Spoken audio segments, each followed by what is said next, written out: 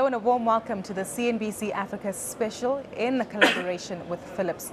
My name is Gugulethu Cele and we come to you from the sidelines of the World Economic Forum, which is currently taking place here in the city of Durban. Today's topic over the next 30 minutes will revolve around the transformation of the healthcare sector on the African continent. Now more than ever, technology has certainly enabled us to ensure that there is increased inclusion in healthcare service delivery. But more importantly, how do we adapt to ensure that the data that we uh, receive from this technology is perfectly allocated to ensure that policymakers are empowered and, of course, healthcare service providers can enhance and improve their levels of facilities and uh, service delivery? Well, to uh, unpack some of this, we have with me here in our studio Dr. Aaron Motsoaledi, who's the Minister of Health in the Republic of South Africa, followed by Jasper Westerink, who is the CEO of Philips Africa. Siddharth Chatterjee, UN Resident Coordinator and UNDP Resident Representative. And last but not least, the female on the panel, Nneka Mobisson, who's the founder and Chief Executive Officer of MDoc.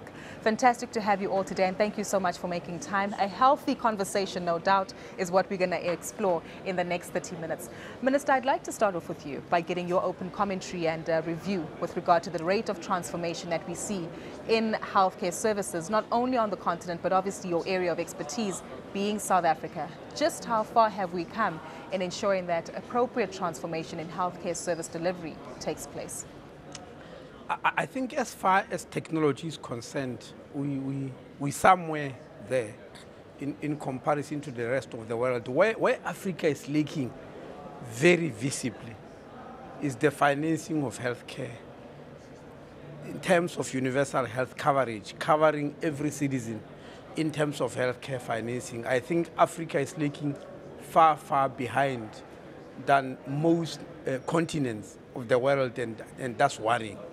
It's some, one of the things that we need to do very, very fast. I'm sure you are aware that uh, United Nations uh, adopted the model of universal health coverage, a new healthcare financing system in, in, in September 2015. In Africa, you can't count on five fingers. On, on, you know, you'll count about two or three countries, Ghana, Rwanda, that have some form of universal health coverage. In South Africa, it's still at the policy stages, and that worries me a lot. The second thing that I think must happen very fast as a game changer on the African continent is the issue of primary health care, especially through uh, community health workers. Because the issue of human resources for health is going to remain a big problem for South Africa for many decades to come. So a game changer, something that will happen very fast, is the issue of community health workers on the continent ensuring primary healthcare as well as a financial inclusion. I want to pick up on the primary healthcare element and see what our peers across the continent have been doing through Philips. And Jasper, just today, uh, an announcement uh, regarding a partnership between Philips as well as the healthcare government within Kenya to improve primary healthcare facilities. Again, highlighting what the Minister of South Africa has said regarding uh, uh this imperative regarding primary healthcare. Give us an overview of uh, the partnership that you have in Kenya and uh, some of the examples as well regarding your participation across the continent. Thank you. Well, I fully agree with the comments that are made. Um, if you look at sub-Saharan Africa, we know that roughly 4 out of 10 Africans actually do not have access to healthcare facilities or healthcare workers.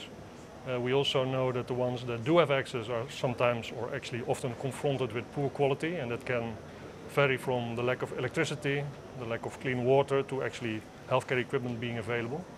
So what we've done together with the government of Kenya is already a long process where we've looked at how we can offer affordable community life centers uh, aimed, on uh, aimed on providing primary health care through all Kenyans. We started, we've now made the next step where we announced a platform because we've realized that this is a complex challenge that you tackle. It's about accessibility in rural areas.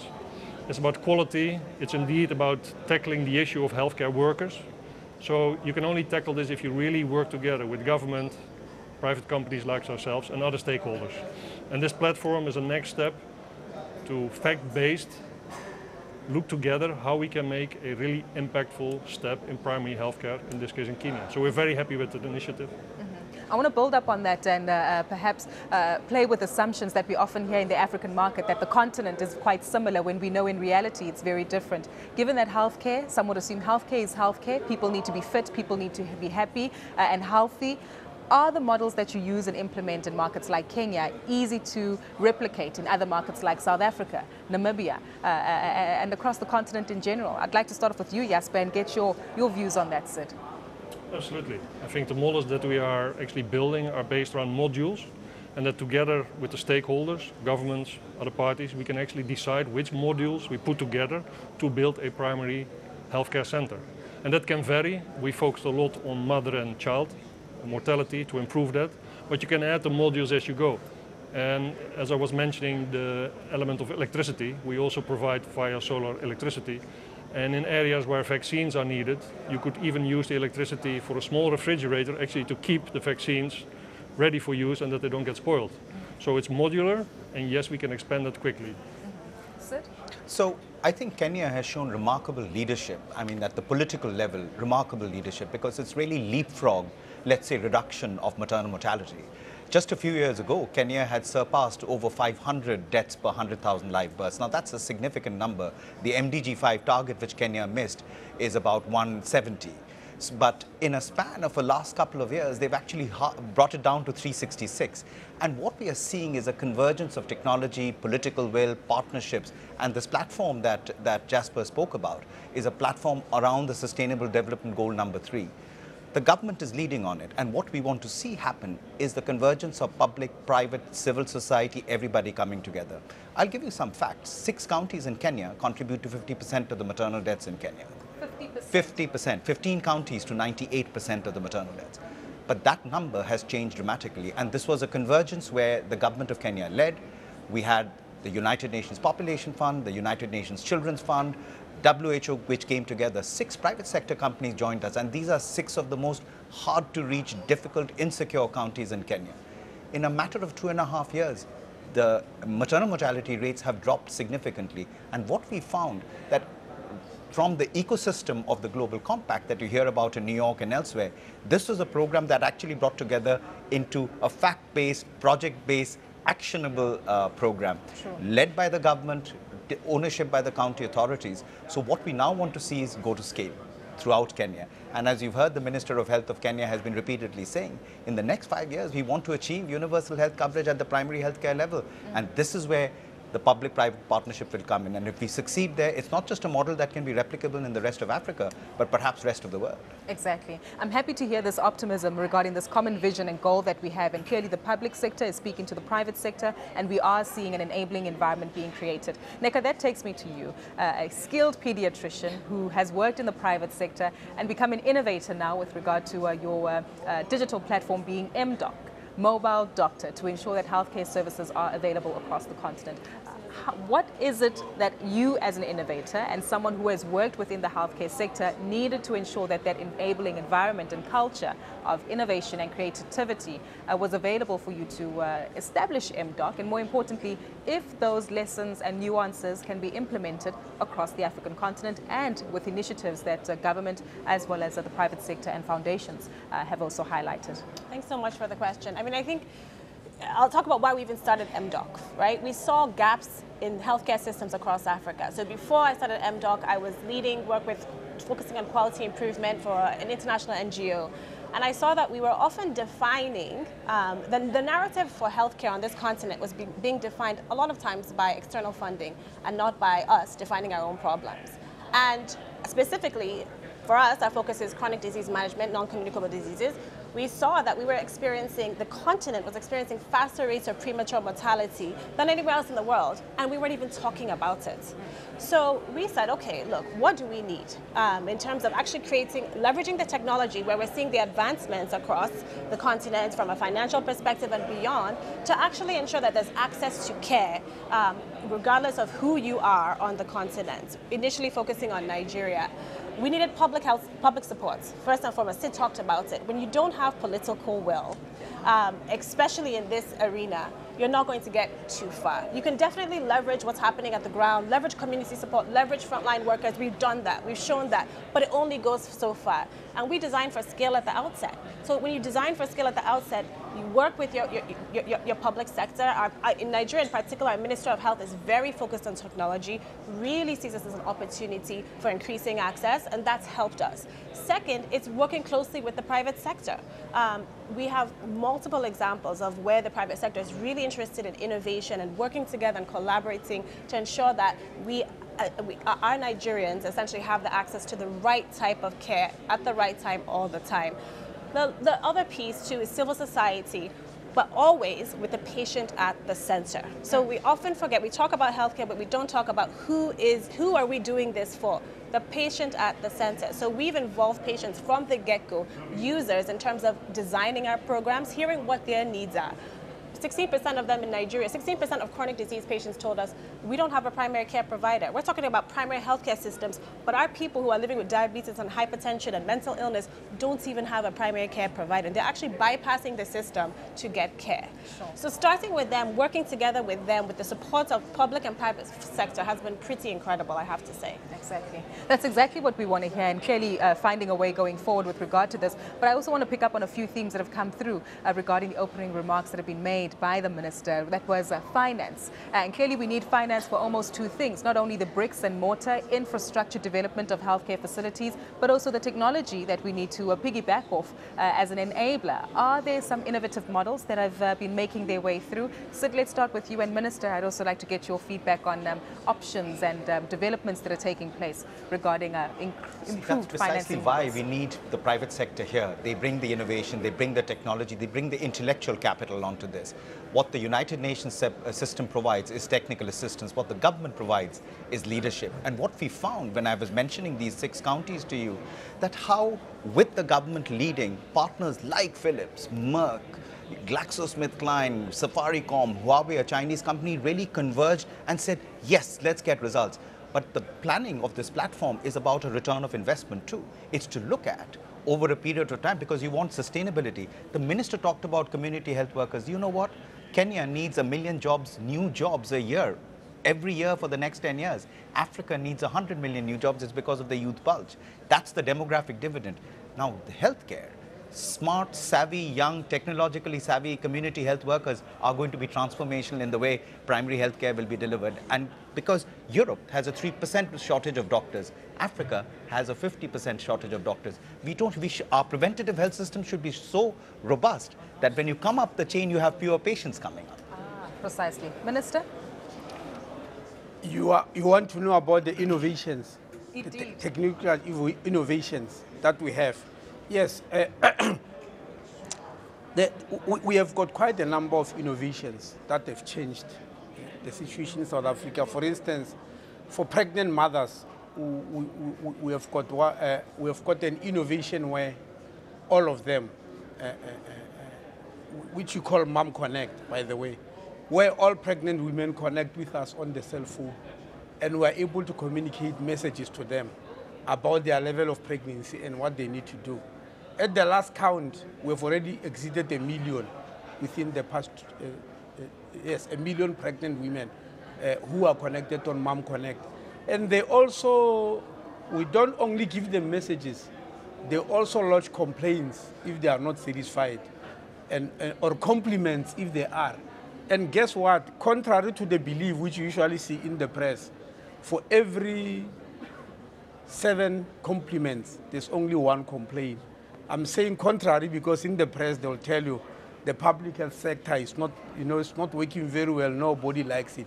But the pregnant women are saying we are happy, you know, seven times Versus more than we are complaint. unhappy. Yes, it, it helped us uh, very much. We also have what we call a chronic medication program, whereby uh, we've got all the patients who are on chronic medication, especially ARVs, TB medication, etc., whereby they don't have to go to the clinics to collect that.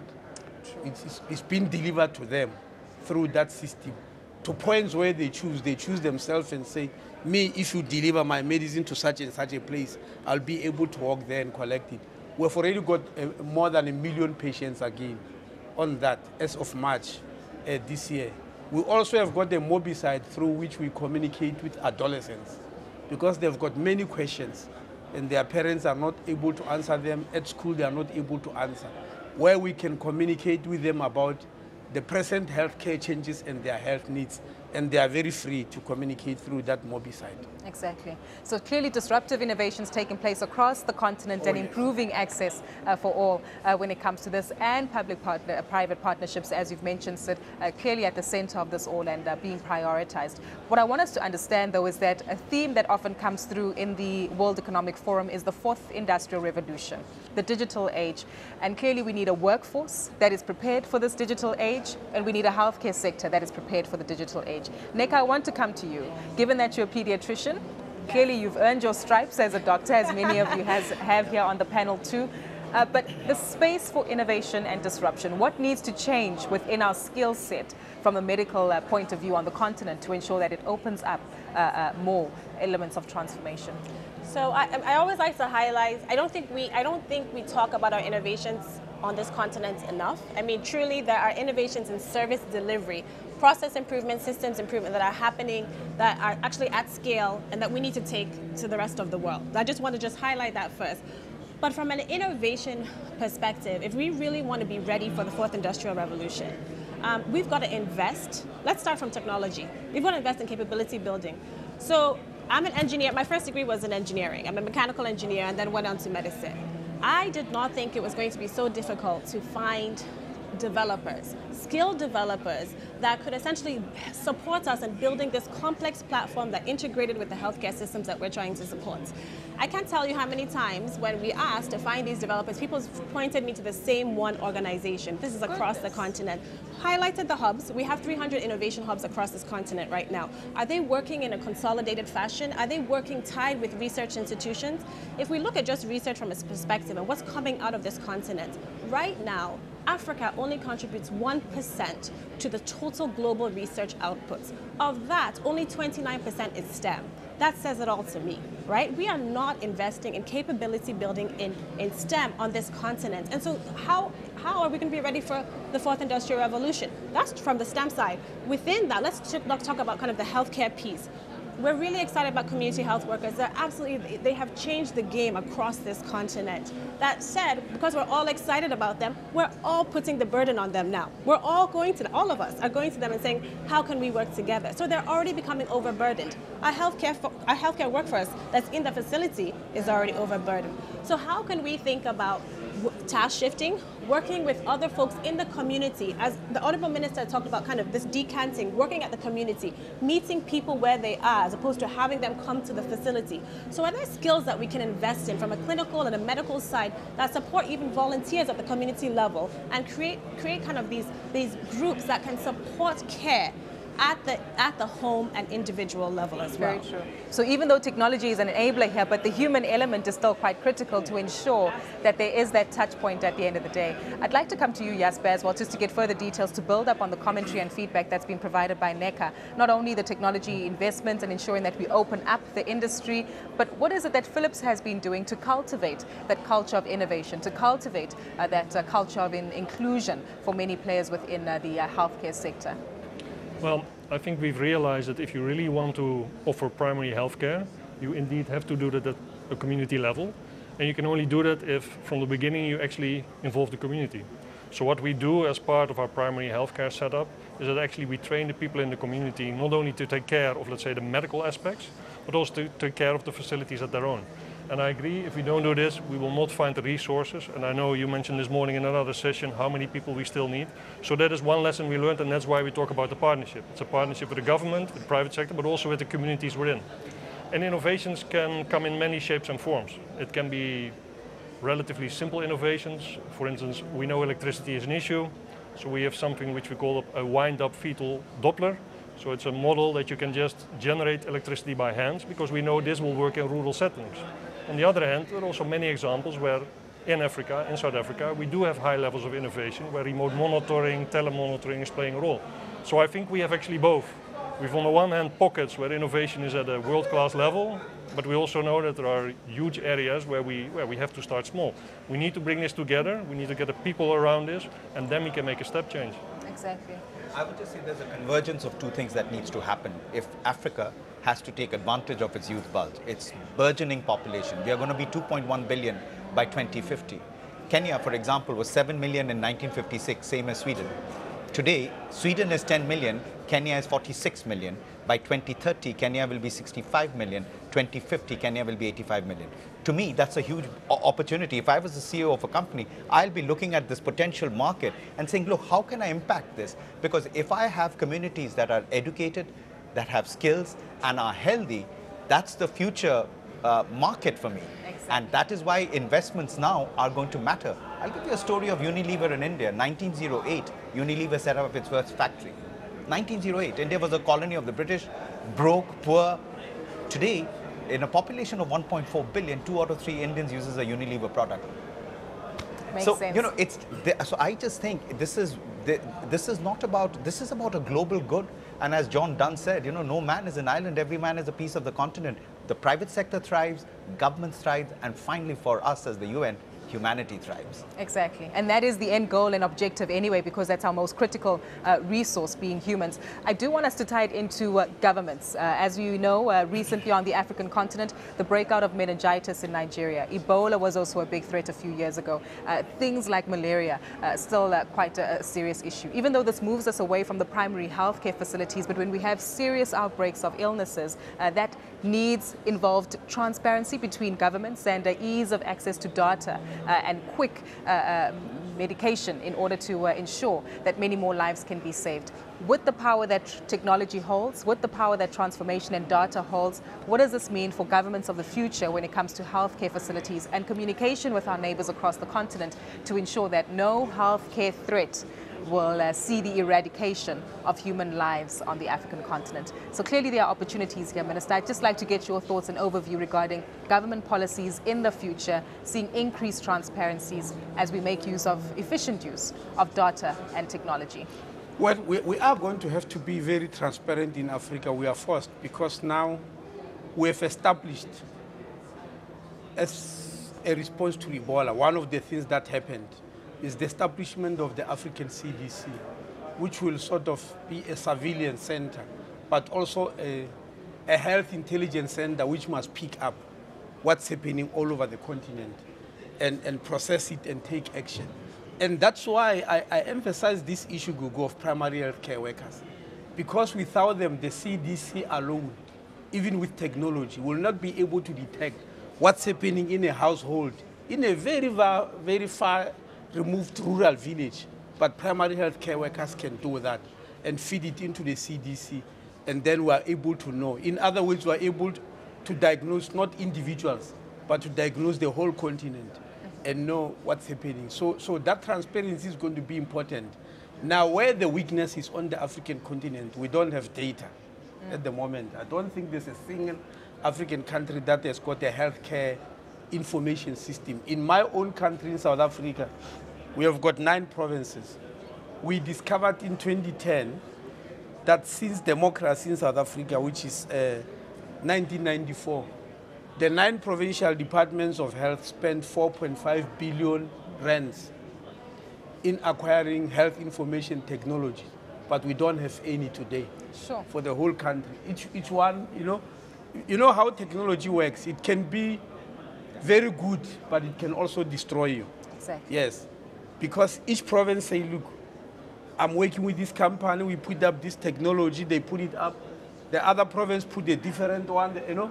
When the politician leaves, it, you know, is somebody convince him that no, no, no, this is this is poor. What your predecessor put here is poor. I've got a better system for you. Remove you. That you know. So, fortunately, we came together with the CSIR in South Africa for the past five years to work out on a technology system which will register all South Africans in one unique patient identifier. And we've already started that. We've covered 1,900 clinics. We've already registered 5 million South Africans. Every single South African is going to belong to that system from the cradle to the grave. That's going to be, in other words, regardless of which institution you go to.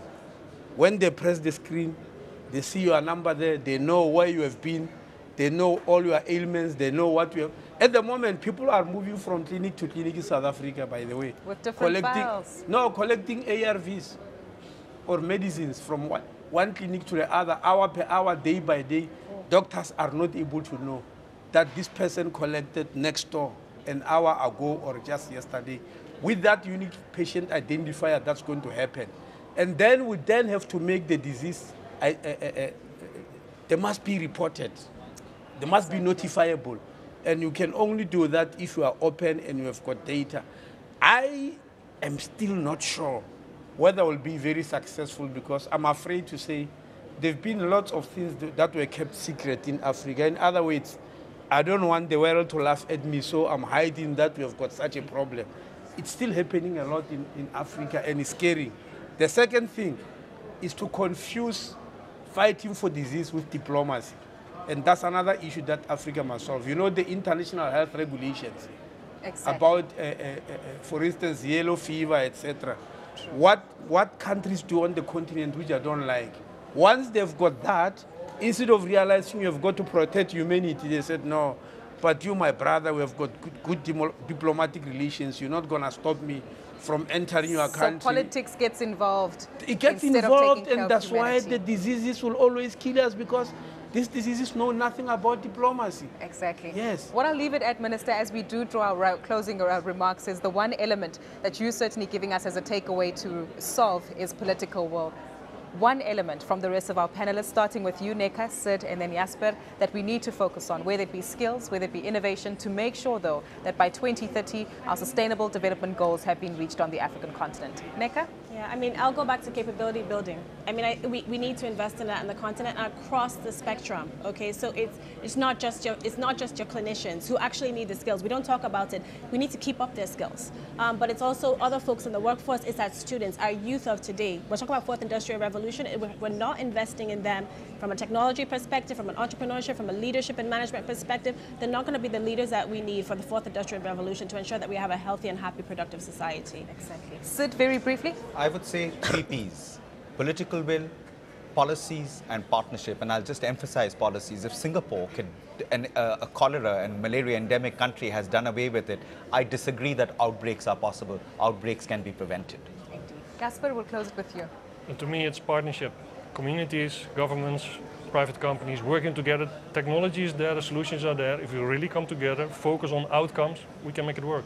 Indeed. Cohesiveness is clearly what's uh, coming through as a strong theme here with the patient at the center of- it all, as long as all parties have a common vision and goal. Thank you so much to my panelists for participating today. Starting to my right, a big thank you to the Minister of Healthcare in the Republic of South Africa, Dr. Aaron Motsoaledi followed by Jasper Westerink, the CEO of Philips Africa, Siddharth Chatterjee, UN Resident Coordinator and UNDP Resident Representative, and Nneka Mobisson, founder and CEO of MDoc. Well, that's how we bring this special panel discussion to you to an end. The transformation of the healthcare uh, sector on the African continent, as you heard, through cohesiveness, through partnership, politics, and policies. Uh, clearly, the common goal and objective can be met. For myself, Gugulethu Cele, and the team, it's goodbye for now.